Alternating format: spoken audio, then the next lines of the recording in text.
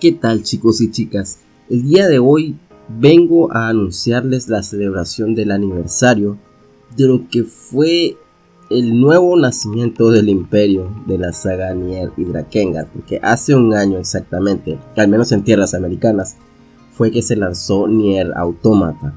El juego que vino y quitó toda esa tendencia de que era algo de nicho, solo para personas específicas y se convirtió en todo un éxito total, algo que fue inesperado, aún así para los desarrolladores, para Square Enix, para Platinum Games, todos esperaban que fuera un juego con destacable eh, capacidad de venta, pero descubrieron que era algo masivo, algo que impresionó a la mayoría. Y es que por fin es que un juego que es muy diferente al resto, a lo convencional, llega a tener un éxito tremendo en la industria AAA de las sagas de videojuegos.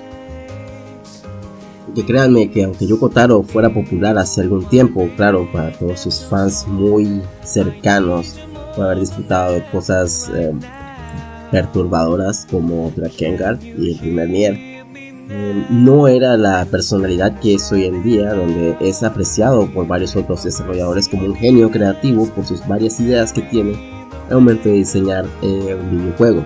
Entonces este señor, aunque siempre había tenido un drástico presupuesto para poder hacer sus juegos y poder implementar sus ideas y capacidad muy limitada de personal, aún así es interesante como aún con todas esas barreras y límites siempre llegaba a ser algo que se sintiera muy especial y diferente a lo demás. No siempre diría yo que fue algo bueno, porque lamentablemente muchos de sus juegos carecen de un gameplay muy significativo o tal vez la narrativa de vez en cuando se pierde un poco por los chistes, por las escenas y etcétera que tiene y si habla de Drakengard 3 en eso. Pero en sí, sus juegos siempre demuestran que tienen su personalidad y que es excéntrica y al mismo tiempo interesante de conocer.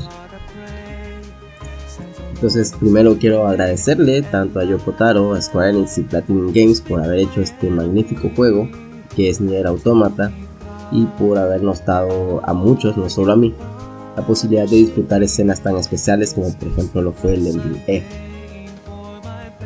Claro, esto tal vez no es nuevo para casi ninguno, pero ya sabemos que vamos a tener una continuación de la saga de Nier, que tuvo un éxito tremendo, como dije, más de 2 millones de copias vendidas, eso fue hace como 3 meses.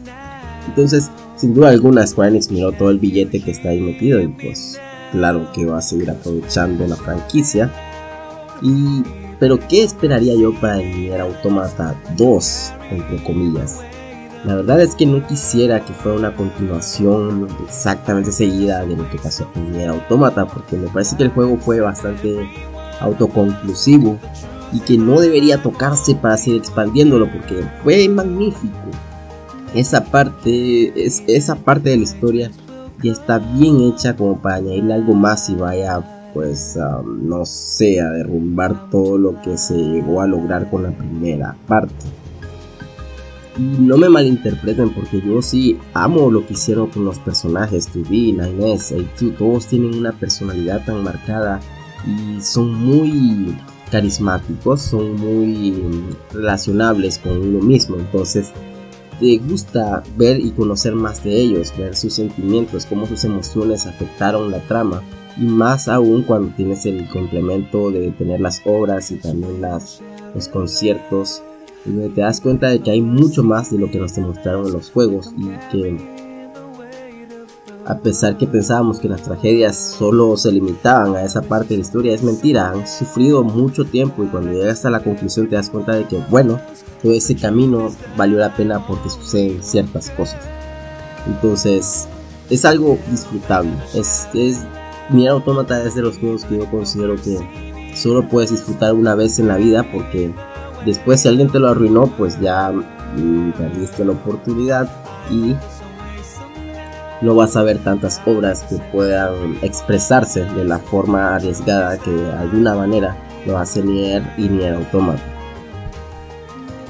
Y pues eso, solo quería destacar que hoy es ese día especial donde salió ese maravilloso juego que todos hemos disfrutado.